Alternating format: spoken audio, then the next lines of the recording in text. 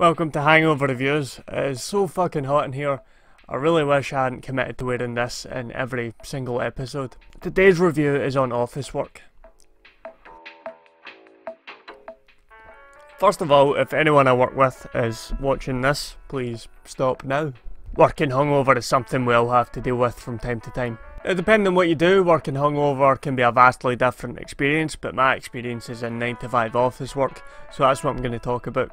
Sitting staring at a computer screen is not a good idea with a hangover, especially in 3 to 4 hour periods. You're not doing your headache any favours by staring directly at a bright light. You can trust me on that one because I'm doing it right now. And then there's the people, colleagues, phone calls, meetings. You know people are probably telling you important things but you just can't take them in.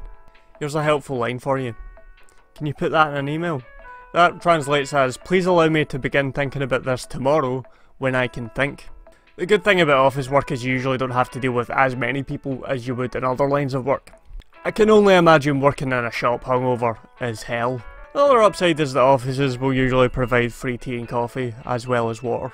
Which obviously won't cure your hangover, but it might help you get through the day. The best advice I can give you is take regular trips to the toilet to avoid looking at your screen, and take full advantage of your lunch break. Spend it outside in the fresh air, and obviously try and find the best hungover food within walking distance. Statistically, that's probably McDonald's. Overall, I wouldn't recommend working in an office with a hangover if you can avoid it. You should probably just phone in sick. It's, food poisoning or something. That's the review for this week. If you liked it, subscribe for a new video every Sunday. And if you have a suggestion for a review, leave it in the comments, tweet me at Hangover Reviews, post it on the Hangover Reviews Facebook page, or email me at hangoverreviews at gmail.com. Take the day off, have a good hangover, and I'll see you next Sunday.